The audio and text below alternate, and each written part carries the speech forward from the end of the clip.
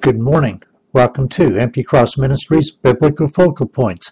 This morning we're going to be looking at the Gospel of John, chapter 10, verses 1 through 15, and we will get to the scriptures here in a few moments.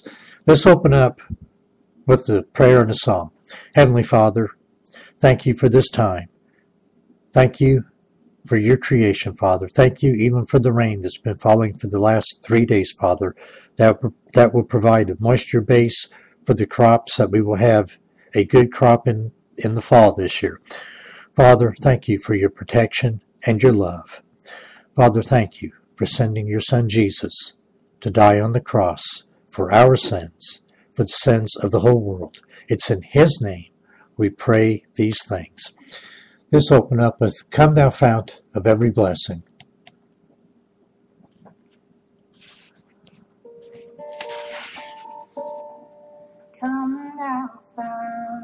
Of every blessing, tune my heart to sing thy grace.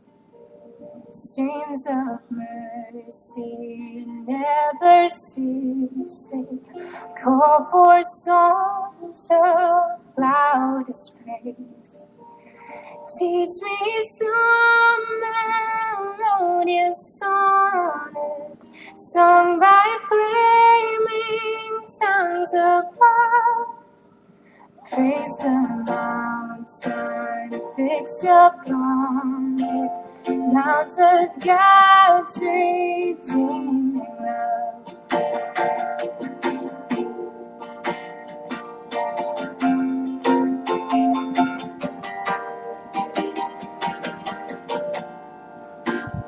Here I raise my Ebenezer, hither by thy help I come, and I hope by thy good pleasure safely to arrive.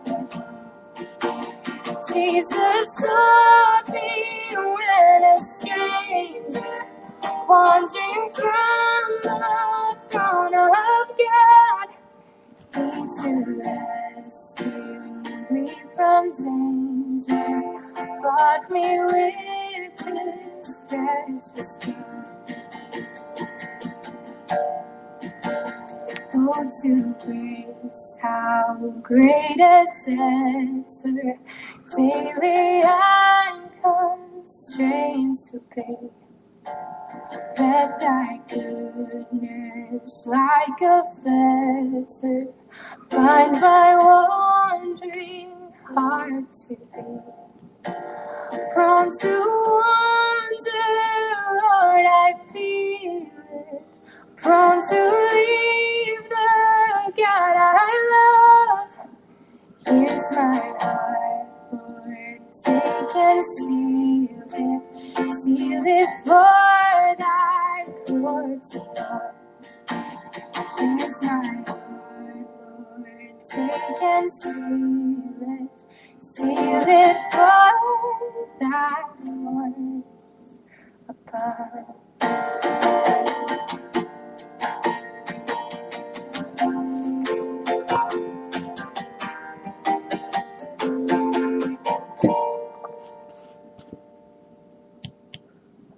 Okay. You know, we have what we could call distorted love.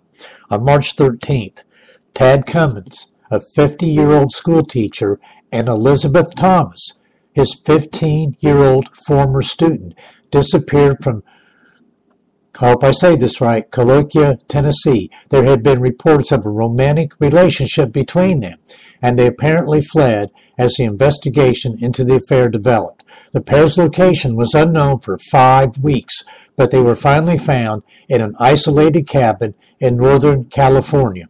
Police were able to arrest Cummins without resistance. Elizabeth was safe and has been returned to her family, while Cummins faces several state and federal criminal charges. That's a, an example of distorted love. Here is selfless love. We humans find numerous ways to twist life circumstances so that our relationships become distorted into something outside of God's will for us. Jesus spoke of how thieves try to steal the sheep as opposed to the good shepherd who loves them and cares for them. Jesus does this even to the point of giving his life for them, as opposed to using them for, self, for selfish purposes like a thief would. I have a few questions here. Think about that as we go through the message today, okay? First question is I got five of them. First question is What can society do to prevent the kind of situation that developed between Tad Cummins and his student? Second question what should the consequences be for Cummins? Third question How can Christians be God's agents in bringing healing to people like Cummins, Elizabeth, Tom, Elizabeth Thomas, and their families? Fourth question How can we avoid fooling ourselves into thinking that our sins are okay? Fifth question If you have experienced others trying to use you, can you express how Christ has cared for you in spite of your experience. Think about those things as we go through the scripture this morning. We'll, get to there in a few moments. Again, I'm Brother David, and this is Empty Cross Ministries Biblical Focal Points. We're going to be looking at the Gospel of John, chapter 10, verses 1 through 15. And what we're going to do is read the entire scripture. Then I'm going to go back and we'll break it down verse by verse and look at each verse, bring it to life, and expose the meaning. And I will be mm-hmm. reading from the King James Version. Let me make a note here. You do mm-hmm. not have to use the King James Version. Use whatever translation or version that you can relate to and that you can understand. Most of us have experienced the embarrassment of mistaken identity. We see someone across the room whom we think we recognize. We wave, that person waves back, but with a puzzled expression. We speak to someone standing behind us, thinking that person is a friend or family member. He or she responds uncertainly, if at all. Cases of mistaken identity cause confusion. Those people are not who we think they are. Today's text is about removing confusion regarding the identity of the one who leads, protects, and provides for God's people. Many claim to be God's designate for that role, but our text says that only one such claim is genuine. Only one individual can make us God's people and give us the life that God offers. Our text from the middle of John's Gospel records part of a series of conflict episodes between Jesus and his opponents. Important for context is the account of Jesus' healing of a man born blind. We see that in John chapter 9, which occurs just before this morning's text. The healed man was confronted by religious leaders who were opposed to Jesus, but their opposition made the healed man all the more certain that Jesus had been sent by God. We see that in John chapter 9, verses 13 through 33. The infuriated leaders threw the man out, effectively claiming that they had cut him off from the fellowship with God's people. Look at the Gospel of John, chapter 9, verse 34. Subsequently, Jesus identified himself to the man as the one God had sent. We see that in John chapter 9, verses 35 through 38. The story closes with further confrontation between Jesus and the religious leaders. We see that in John chapter 9, verses 40 and 41. In providing the backdrop for today's text, that account addresses this question Who truly governs God's people? In other words, do the religious leaders of Jesus' day decide who belongs in God's people and who is excluded, or does that authority lie elsewhere? That the conflict, the conflict between Jesus and his opponents concerning who Jesus is and what that means for God's people was accelerating. Jesus used of the phrase, I am the, occurs four times in today's text. We see it in John chapter 10, verses 7, 9, 11, and 14. These form part of the larger picture of Jesus' use of the phrase, on other occasions in this gospel. Look at John chapter 6 verses 35, 41, 48, and 51. The gospel of John chapter 8 verse 12, John chapter 11 verse 25, John 14 verse 6, John 15 verses 1 and 5. The phrases serve as Jesus' claims regarding his unique role in God's plan to be the one who fulfills God's promise and finality. But more than that, the phrase, I am, echoes God's statement to Moses that he should tell Israel that I am was the one sending him. Look at Exodus chapter 3 verses 14 and compare that with John chapter 8 verse 58. As Jesus used this expression, he was saying something about himself that implied that he was divine. God himself in human flesh. Jesus' opponents certainly didn't miss the implication given their immediate attempts to stone him. Look at John chapter 8 verse 59. Our text focuses on shepherd imagery in regard to the I am the statements. Keeping flocks of sheep and goats was a vital part of the economy of the biblical world. Shepherds often spent day and night with their animals to keep them nourished and safe. Compare this with Luke chapter 2 verse 8. the Old Testament frequently draws on these practices in depicting God as shepherd and his people as sheep. For examples of that, look at Psalm 23 verse 1, Psalm 80 verse 1, the major prophet Isaiah chapter 40 verse 11, and uh, the major prophet Jeremiah chapter 31 verse 10. His faithful shepherding is contrasted with the harmful shepherding by others. Look at Ezekiel chapter 34. This history, familiar to Jesus' audience, is what he draws on as he delivers this discourse. And that brings us up to our text. Would you turn with your Bibles with me to the Gospel of John, chapter 10, verses 1 through 15. Again, I'm going to read the entire text, and then we'll go back, break it down verse by verse, bring those verses to life, and expose the meaning. The Gospel of John, chapter 10, verses 1 through 15, beginning in verse 1. Verily, verily, I say unto you, he that entereth not by the door into the sheepfold,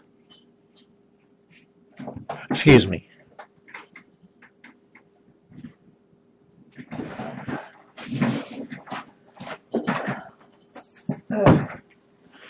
Okay, little situation behind me I needed to take care of. Again, I'm going to read the entire text and we'll go back, break it down verse by verse, and bring it to life and expose the meaning. The Gospel of John, chapter 10, verses 1 through 15, beginning in verse 1. Verily, verily, I say unto you, he that entereth not by the door into the sheepfold, but climbeth up some other way, the same is a thief and a robber. But he that entereth in by the door is the shepherd of the sheep. To him the porter openeth, and the sheep hear his voice, and he calleth his own sheep by name, and leadeth them out. And when he putteth forth his own sheep, he goeth before them, and the sheep follow him, for they know his voice. And a stranger will they not follow, but will flee from him, for they know not the voice of strangers. This parable spake Jesus unto them, but they understood not what things they were which he spake unto them. Then Jesus unto them then, then said Jesus unto them again, Verily, verily, I say unto you, I am the door of the sheep. All that ever came before me are thieves and robbers, but the sheep did not hear them. I am the door. By me, if any man enter, he shall be saved, and he shall go in and out and find pasture. The thief cometh not, but for to steal, and to kill, and to destroy. I am come that they might have life, and that they might have it more abundantly. I am the good shepherd. The good shepherd giveth his life for the sheep. But he that is an hireling, and not the shepherd, whose own the sheep are not, seeth the wolf coming, and leaveth the sheep, and fleeth. And the wolf catcheth them, and scattereth the sheep. The hireling fleeth, because he is a hireling, and careth not for the sheep. I am the good shepherd, and know my sheep, and am known of mine. As the Father knoweth me, even so know I the Father, and I lay down my life for the sheep. Our key verses would be uh, verses 14 and 15. I am the good shepherd and know my sheep, and am known of mine. As the Father knoweth me, even so know I the Father, and I lay down my life for the sheep. Excuse me, I need to get a drink before we go on. Jesus is the entryway. Verses 1 through 6 could be subtitled The Imagery. Okay, let's pay attention to the imagery here. Verse 1 Verily, verily, I say unto you, he that entereth not by the door into the sheepfold, but climbeth up some other way, the same is a thief and a robber. The Greek behind the translation verily is often transliterated as amen. For an example of that, look at Revelation chapter 1, verse 6. A word that is often used as a solemn finality. Jesus uses here to begin a statement. The doubled verily, verily stresses the importance and reliability of what he is about to say. The image of the door into the sheepfold illustrates the difference between those who intend to harm the sheep and the one who cares for them. A sheepfold is an outdoor area bounded with a low stone wall. Sheep can be kept there overnight for safety. The door is the opening in the wall. It is guarded in such a way so that the sheep do not wander out and predators do not enter. A person or creature who enters by climbing over the wall is clearly not the sheep's protector. We keep in mind that Jesus makes his point just after his rebuke of the religious leaders in John chapter 9 verses 40 and 41. His implication is clear. Those leaders who claim to decide who belongs to God's people and who does not are the ones who come in over the wall. Verse 2 But he that entereth in by the door is the shepherd of the sheep. We should be we should note that Jesus' illustration is not an elaborate allegory. That is, each detail of the story is not intended to correspond with an event in reality. Jesus is probably not thinking of a particular event in his life when he speaks of the shepherd entering by the door. Rather, this detail is intended to contribute to the larger contrast between the shepherd and those who do not care for the flock as the shepherd does. Verse 3 To him the porter openeth, and the sheep hear his voice, and he calleth his own sheep by name, and leadeth them out.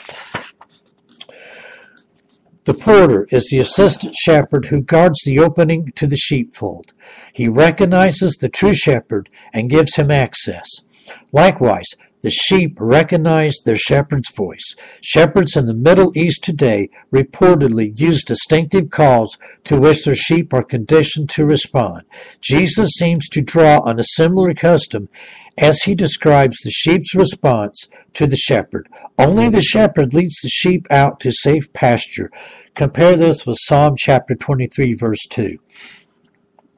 We now come to verse 4. And when he putteth forth his own sheep, he goeth before them, and the sheep follow him, for they know his voice. The depiction of the shepherd's care and the sheep's recognition continues. When daylight comes, it is time to exit the sheepfold for food and water. To get the sheep to the needed nourishment, shepherds of the biblical world do not drive their sheep from behind, but lead them, but lead them from the front, goeth before them. The sheep's recognition of the shepherd makes that possible.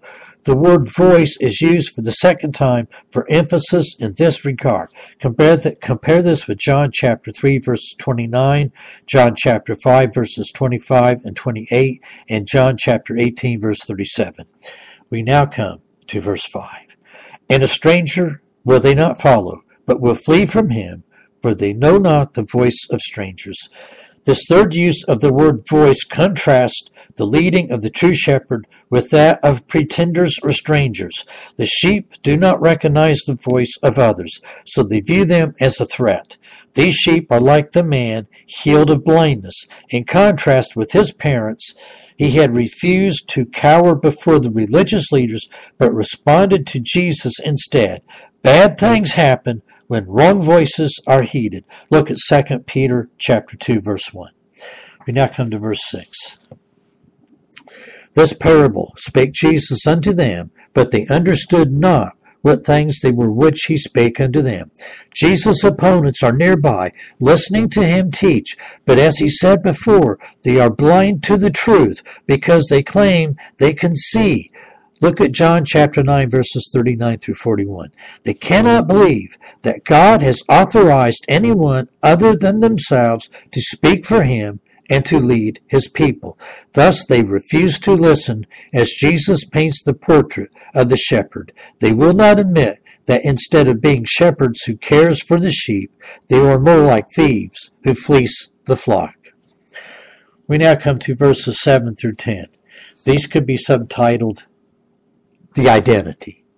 Look at the identity here of the one being identified. Okay, verse 7. Then Jesus said unto them again, Verily, verily, I say unto you, I am the door of the sheep. Again, that double verily, that word is, is means what we mean when we say amen. So think of it as amen, amen, I say unto you, I am the door of the sheep. Again, by use of a doubled verily, Jesus solemnly emphasizes that he is speaking a vital truth. The emphasis is underlined by the use of I am the, with its implications as noted back when, when we first, as I noted back when we first began this program. Okay, Jesus' claim to be the door of the sheep may be surprising until we understand that shepherds often block entrances to the sheepfolds with their bodies. They do so by lying across the opening at night so that nothing gets in or out without their consent. In light of the controversy over the man healed of blindness, Jesus is making the audacious claim that he alone decides who belongs with God's people and who does not. Contrast this with John chapter 9 verses 22 and verse 34. The religious leaders do not make that determination. No one does but Jesus. And certainly no one truly decides who belongs to God except God Himself. Thus, Jesus uses the suggestive I am to make this statement. Taken with the earlier discourse, we understand Jesus' point. Those who listen to and believe Him are the sheep who listen to the true shepherd. They belong to the true flock. They are granted entry into the sheepfold. Jesus' followers are God's true people. We now come to verse 8. All that ever came before me are thieves and robbers, but the sheep did not hear them. There can be only one chief shepherd, Anyone who pretends to be him is in the category of thieves and robbers. An example of how such false shepherds operate is found Luke is found in Luke chapter 19 verses 45 and 46, where worship acts of sacrifice are opportunities for profit. Most directly associated with the text before us is again the situation of the man healed of blindness. Note that the religious leaders would have preferred that the man not be healed rather than it have done rather than have done been done on a Sabbath. Look at John chapter 9 verses 14 through 16. This contrast makes clear that the shepherd that the shepherd stands alone and that there is no legitimate alternative to hearing his voice and following him. You know, we've had in our history some spiritual charlatans. One that comes to mind is Jim Jones. He lived from 1931 to 1978. Some of you younger people will not recognize that name. Those in my age group will definitely remember what happened there. Jim Jones started his ministry career in Indianapolis, Indiana. But it was after he moved his People's Temple to California in the late 1960s that he gained notoriety. His ministry focused on issues of social justice, and he de- developed a large following among society's downtrodden. For a time, Jones was endorsed by many leading politicians, but following his exposure as a cult leader, he moved his congregation to Jonestown in Guyana. His little empire came crashing down in 1978 with the mass suicide and murder of over 900 people there, including Jones himself. In retrospect, Jim Jones was merely one spiritual charlatan in a line stretching back centuries. God had to deal with such individuals even within the ranks of his chosen people. Look at Isaiah chapter 1 verse 23, Jeremiah chapter 9 verses 9 through 11, and Hosea chapter 7 verses 1 through 3. They stand in stark contrast with Jesus, who stands ever vigilant for the well-being of his flock. The saga of Jim Jones reminds us that only Jesus is worthy of unconditional trust. We now come to verse 9. I am the door. By me, if any man enter in, he shall be saved, and shall go in and out and find pasture. Jesus repeats his claim to be the door, the only way to enter the flock of God's people. The one who enters Jesus' sheepfold shall be saved, that is, be kept safe from harm. And the sheep are led to and from the sheepfold. They find pasture needed to survive and thrive. The shepherd's gift to them is life, and they have it only because of the shepherd. We now come to verse 10. The thief cometh not, but for to steal, and to kill, and to destroy. I am come, that they might have life, and that they might have it more abundantly. When we watch how the thief behaves toward the sheep, we see only self interest. Thieves, by definition, do not act in the best interest of the sheep. Rather, they take advantage of the sheep. They bring death. Serving as examples are the religious leaders who seek to dissuade people from faith in Jesus. They are thieves who act out of self interest. But the true shepherd does the opposite. He doesn't take, but gives. Jesus gives life. Others give death. He protects and provides for his flock, and not just a little. Life from Jesus is abundant like the overflowing cup in the shepherd's psalm. That's Psalm 23. Look at verse 5. Jesus gives not just what is necessary for survival, but what results in life in its divinely intended fullness. Second section of scripture could be titled Jesus the Good Shepherd. Verses 11 through 13 could be subtitled Giving and Caring. The first part of verse 11 reads, I am the good shepherd. Jesus now changes the metaphor slightly, making in the process a claim that's even more direct and audacious. As before, the phrase I am the carries the implications noted at the beginning of the lesson, at the beginning of the program. Particularly with the added descriptor good. The term shepherd is used in Israel's scriptures for God or his promised messianic king. Jesus' claim of it for himself indicates fulfillment. Look at Genesis 49, verse 24, Psalm 80, verse 1, Ezekiel 34, verse 23, and Ezekiel chapter 37, verse 24. Now, the second part of verse 11 reads, The good shepherd giveth his life for the sheep. The good shepherd giveth his life for the sheep. Some Old Testament kings and priests were good at being shepherds of the people in a relative sense. For an example, look at Psalm 78, verses 70 through 72. But Jesus is good in an exceptional way. Not only does he lead, feed, and protect the sheep, he also willingly giveth his life for them. Certainly, this description strikes Jesus' audience as astonishing. They know that a shepherd takes risks to protect the sheep, his most valuable possession. But dying for one sheep is out of the question. The sheep live for the shepherd, not the other way around. But Jesus is a shepherd like no other. Time will be needed for Jesus' meaning to be clear. Again, time will be needed for Jesus' meaning to be clear. When he is arrested, Jesus will insist that the soldiers let his followers go free as he surrenders himself willingly. We see that in John chapter 18 verses 3 through 9. His death will not be a case in which someone else takes his life. He will lay it down himself. It will be an act of sacrifice that serves as a ransom for many. Look at Mark chapter 10, verse 45. We're going to look at verses 12 and 13 together. Okay. But he that is a hireling and not the shepherd, whose own the sheep are not, seeth the wolf coming, and leaveth, and leaveth the sheep, and fleeth, and the wolf catcheth them, and scattereth the sheep. The hireling fleeth, because he is a hireling, and careth not for the sheep. Again, Jesus depicts figures to contrast with the shepherd. These figures serve to emphasize the shepherd's one of a kind nature. Certainly, we would expect the thief or robber to have no concern for the sheep. But even a hired under shepherd, one who does not own the flock but is paid to care for it, lacks the shepherd's commitment. This hireling is just there to do a job. He has no personal interest in the sheep.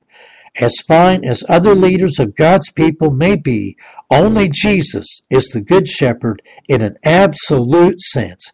No one but He places the flock's well being first. As the Good Shepherd, Jesus will give His very life for the sake of His people.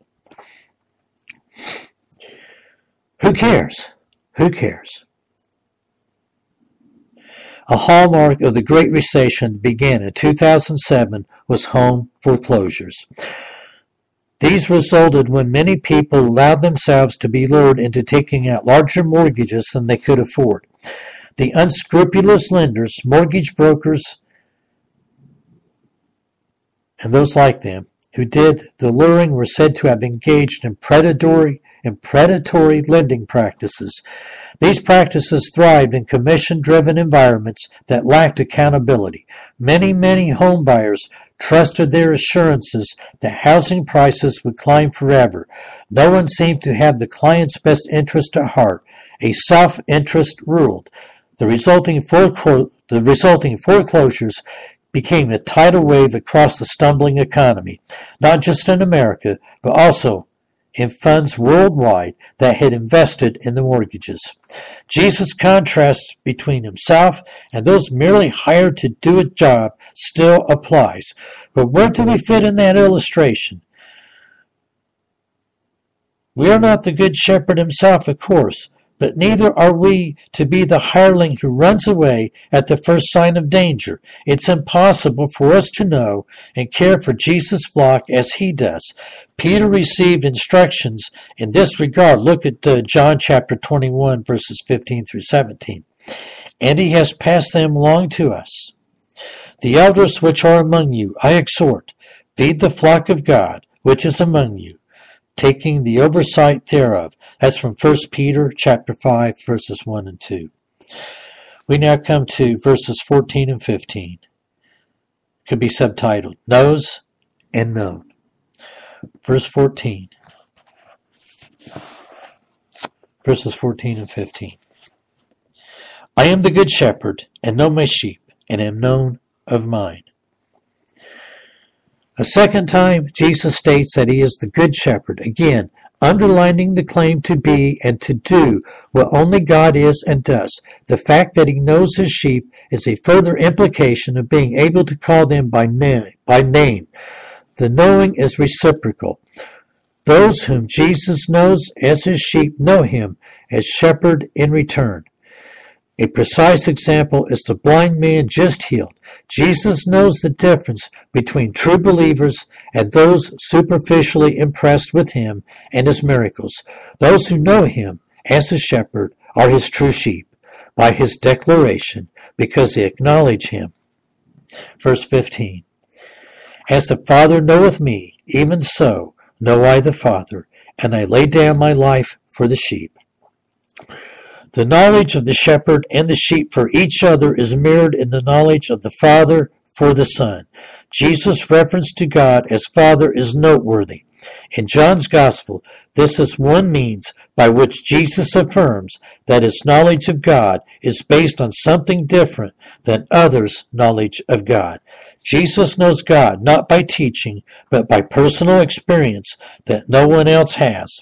As the Son knows his Father, Jesus the Son knows God the Father. As the one who comes from heaven, Jesus knows God the Father, the one who abides in heaven. And as Jesus does and claims to be what only God can do and who he alone is, Jesus shows that he knows God because he is God.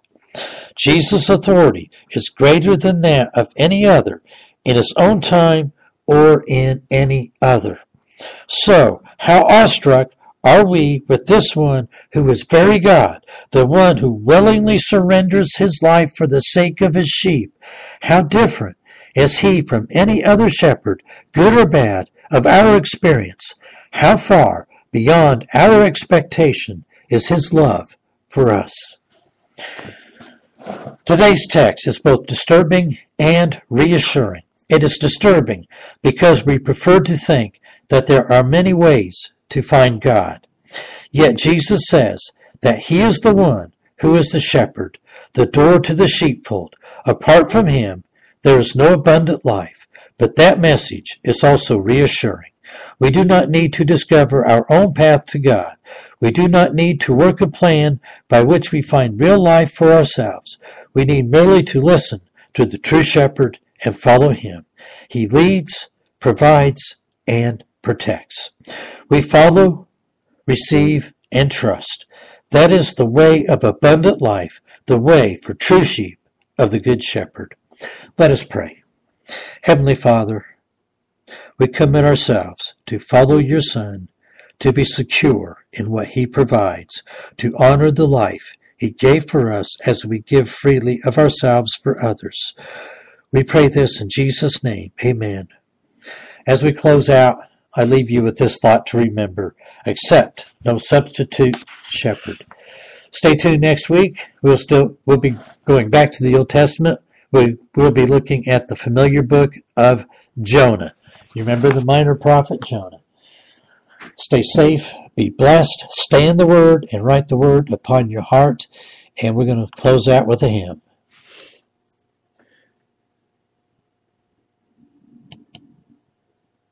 In Christ alone.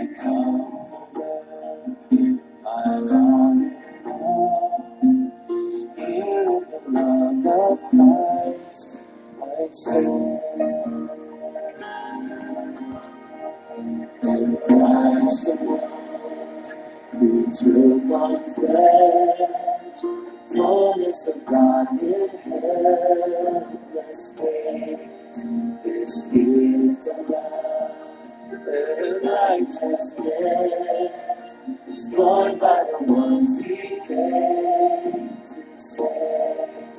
Till on that cross as Jesus fell, the wrath of God was satisfied for every sin on whom was laid. Here the death of Christ I